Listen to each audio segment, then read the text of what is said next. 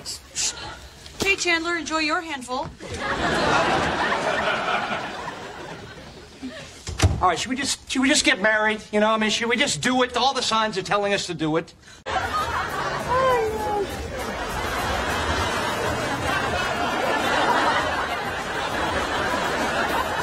So, how did you enjoy the play?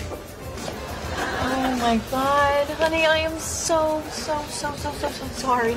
Well, you. Oh, I can do it. You two are really going to enjoy that couch. Oh yeah, we're uh, yeah, we're not together, but Oh, okay. yeah. So, Together. I mean, I really think it's the best resolution because everyone can enjoy the pictures. Well, everyone will enjoy my music as well.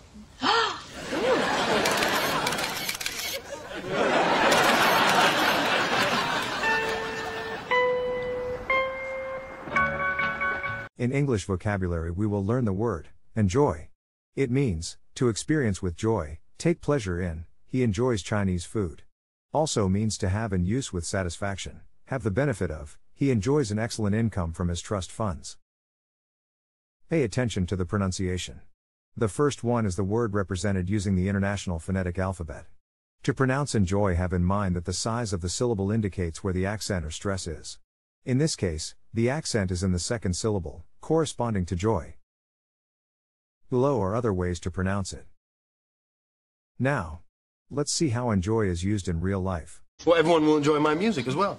Oh, I, I would enjoy that. Oh, no, no, no. No, wait. Well, isn't it better that I exchange it for something that I enjoy and that I can get a lot of. Phoebes, he seems to enjoy it. I mean, I really think it's the best resolution because everyone can enjoy the pictures. from now on, the only person who's going to enjoy these bad boys is me. Okay, would you just try to relax and just just enjoy yourself? Look, not that I don't enjoy talking about people we went to high school with, because I do. Can't believe you guys bought that. Enjoy your slow death. We can easily think of a way for us both to enjoy the room. totally. Take the test at accent101.com to find out si sabes inglés o hablas inglés.